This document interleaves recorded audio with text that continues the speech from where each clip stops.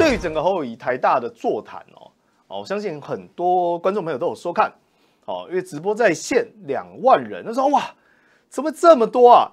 难道都是侯友谊支持者吗？No No No No No，其实也不尽然，哦，很多都是抱持着准备要来找茬、见缝插针，甚至看笑话的心态的绿营侧翼，哦，以及民进党的人，哦，在收看。另外一个部分呢，则是期待。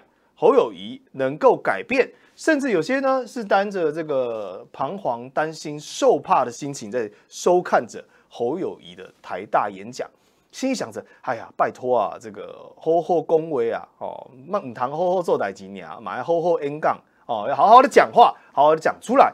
但最后得到的答案是什么？最后得到的答案是什么？我是评七十分呐，哦，七十分。你说啊，七十分很低耶？各位，你要先思考一个前提哦。侯友谊先前受邀却没有出席，这个叫几分？这个叫零分啊！这不是不及格啊！原本受邀没出席，直接打零分啊！好，那没有关系。后来侯友谊转弯说：“我要去正大，也要去台大，即便为时已晚啊，但至少是亡羊补牢。”所以这个七十分是因为没有在第一时间前去所扣下的分数，否则，哦，我们退一万步来思考，如果今天侯友谊是第一个。登陆校园，第一个登上台大论坛，第一个登上校园马拉松。那他的所作所为啊，跟他的言行表现，我相信至少应该可以拿个七十五分啊，甚至八十分。好，那除了这个之外，整体最具体的在哪里？具体的在于说，不是说侯友谊讲话方式改变了，而是终于不再推拖拉。不再吞吞吐吐，但有没有改进空间？当然有改进的空间哦，因为包包括在两岸议题上以及两岸相关的论述上，可以看到的是侯友谊还在左顾右盼，还在犹豫不前啊。那但是在待会呢，我们一项一项细细的来讨论。不过在这之前，我先让大家看一个精彩片段哦。这线上的观众朋友知道大家深恶痛绝是什么？没有错，这是网军嘛。哦，整个全台湾人民，包括二零二二大选，对于网军都产生极大的反思浪潮，甚至是反弹。我们来听一下侯友谊怎么讲的。民进党执政八年，吏治败坏，然后官员嚣张跋扈。我想问的是，关于疫苗、口罩、快筛。然后还有三加十一的会议记录。侯市长如果明年当选总统，愿不愿恢复特征组彻查到底，绝不宽恕？民进党网军治国，民进党网军治国，赖清德没有道德勇气肃清网军。如果明年侯友谊当选总统，愿不愿意肃清网军？八年的弊案，八年问题做不做？我上任就做，不但做，比特征组还做得更彻底，一个都不放开，一个都好好的侦办。办案红旗金街了。我办过那么多案子，没有不破的案子，没有这个弊案不解决的，不会像别人五大弊案，讲了半天也没有完成啊。很多事我们针对问题一个一个把它清清楚，不管是特村组也好，不管是专案小组也好，那就是一个名称而已。最主要要发挥展现您解决问题的能力。如果公务人员有包庇掩盖案情，查办。一个都不放过，这是外太多。年轻人跟社会追求的共同价值是什么？社会的公平正义对无流波，这马是外太多了。看来看去，民进党在打假信息，都在打假的，打金条阿被戏，造成人心惶惶。是谁造成的？真相只有一个：假信息，我们要唾弃它，要查办它。现在的民进党，你有责任，有在选举的时候，从头到尾好多假信息，这些假信息一定不要放过。我尊重所有的言论的自由。但是如果要用假信息来在伤口上撒盐，引起选票，这是很可恶的一件事。哦，我不知道各位网友大家看完这个侯宇这段谈话的想法是什么，也欢迎这个留言分享啊。我待会再讲我的评论，我先跟大家打声招呼哦。哦，这个大脑思考，这个午安哦，燕梅午安哦，还有焦上吐司您好哦哦，我们蔡编也在上面跟大家这个打招呼哦，鸡大大您好。好，有一位门门说不同意我说的话哦，非绿联盟彼此批评哦。我这边解释一下，我觉得你应该是听错了。我是说，作为一个媒体人，不管是蓝是白啊，对就对，错就错，该称赞就要称赞，该检讨需要改进的地方就要讲哦。我的原话是这样哦，不是说叫非绿联盟自己去批评啊。哦，讲白了，我讲了哈，他们两个不一定会听呐。哦，不过两个确实现在正在互相攻击当中了。你如果有兴趣的话，去看一下新闻。好，如果呢各位网友任何意见呢，都欢迎在这个留言分享。同时提醒大家，荧幕上有 Q R code 哦，如果想要扣印进来或有任何意见，请拿起你的手机用 Line 的 ID 扫描 Q R code，或者是输入 Line ID C T I B U S C T I Bus，就可以立即上车加入我们的讨论。好。对于刚才侯宇的演说，我不知道大家想法是什么了哦。不过我们可以看得出来说，他很努力的想要出呈现出一个太阳哦。这个太阳是什么哦？就是侯宇很强势，很有魄力哦，除恶务绝哦，表现出这样的一个太阳跟心态哦。但是实质上能不能打动人心，能不能穿透人心哦？我觉得可以从台下观众的反应，你可以看出一二，你可以看出一二。真正的重点到底是什么？哦，我问各位，我们在看新闻的时候啦，往往是不是都先看标题，再看内文？哦，有影音的再去切影音。哦，所以我觉得重要的态度是一回事，态度是第二个层次，态度跟口吻是第二个层次。我觉得侯友谊讲话不清楚也没关系，你要用台语也可以。哦，你要有台湾国语，我觉得其实都不是大问题。重点在于你字句当中的含金量是不是能够打动人心，反而。所谓的愤慨、慷慨激昂、柔情诉求，这个是其次的问题，其次的问题哦。否则我就讲，哦，你像柯文哲，柯文哲讲话有很有态度吗？也没有啊，甚至有时候连听都听不懂他在讲什么，口齿不清哦。但是为什么屡屡能够抓住媒体的焦点？哦，重点就在于字句当中的精准跟含金量哦。不论哦你认不认同，或觉得说他是哗众取宠，当然各有所好嘛。有人喜欢，有人反对，但我是说，这必须侯友谊要去思考问题。但他在这一次整个台大演讲当中，确实有讲出几句非常重要的金句，甚至是跟过往哦总是在绕圈子哦。过往听侯友谊受访哦，总是在绕啊绕啊绕哦，绕完之后呢，所以中天小编才会崩溃嘛？为什么？因为抓不到重点，抓不到重点哦。这个是有好有坏的哦。如果你作为一个市长，哦，你当然必须要秉持着所谓的行政中立，政治色彩越低越好。所以，当你呈现模糊的太阳的时候，蓝绿的选民会觉得，哎呀，你就是一个好好做事好市长。但总统选举不一样，总统选举比的是什么？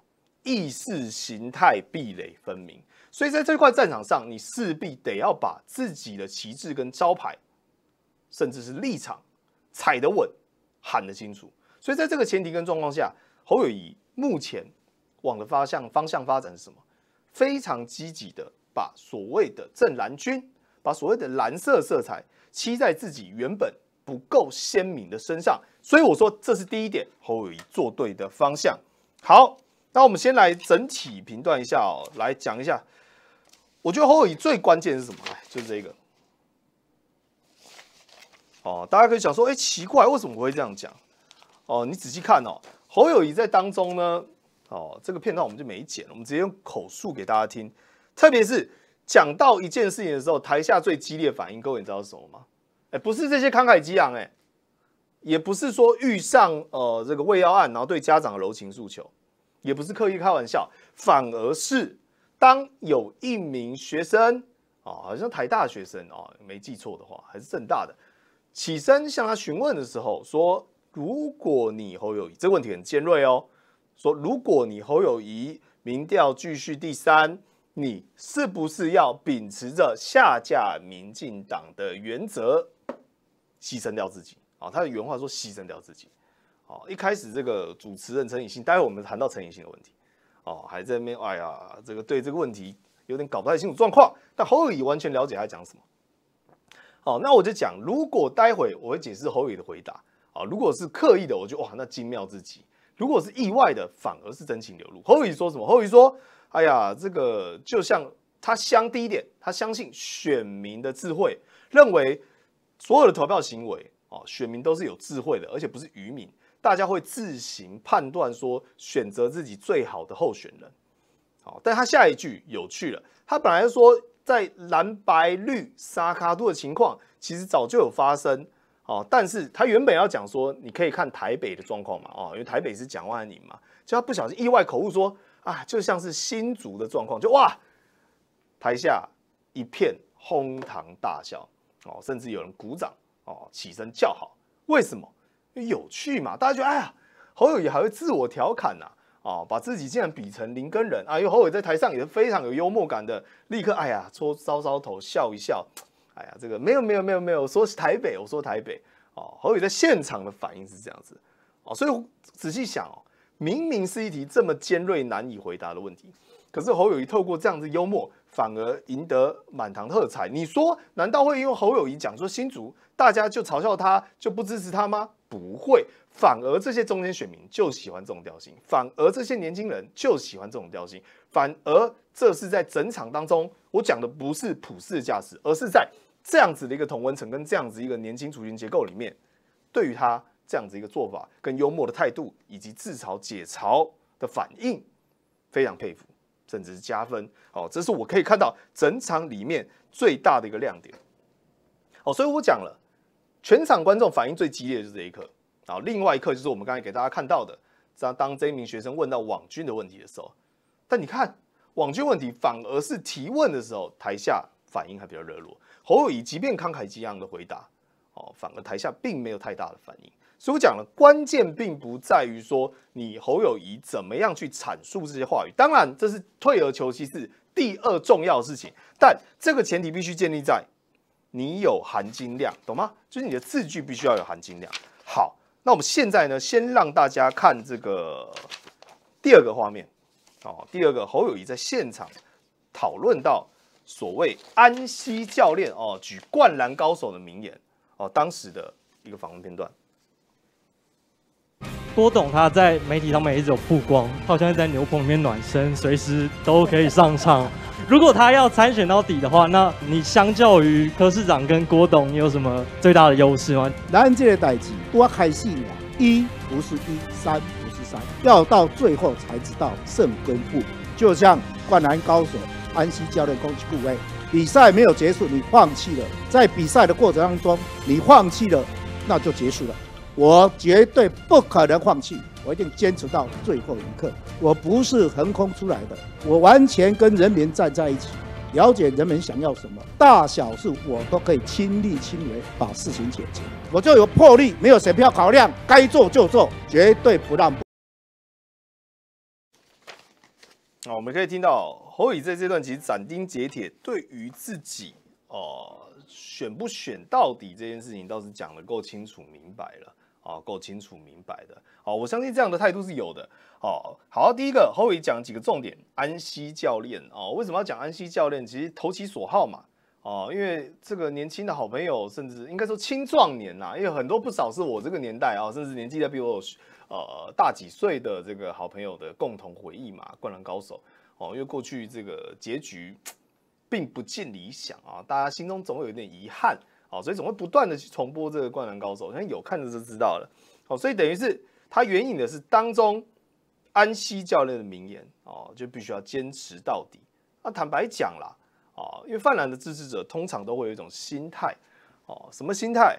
哦，打顺风球的时候，大家会非常的这个振奋啊，一窝蜂，大家。群起的这个情绪激昂哦，但往往逆风的时候呢，比较擅长自我检讨，哦，比较擅长自我检讨，吾日三省吾身嘛，哦，这是蓝民选民的优点哦，会去看看自己到底哪里做不对，哪里做不好，看看这个国民党支持者跟到国民党的候选人问题到底出在哪里，但同时它也会产生一个效应，叫沉默螺旋，哦，这个沉默螺旋呢，不只是支持声浪的沉默螺旋，甚至呢是对于整个胜选。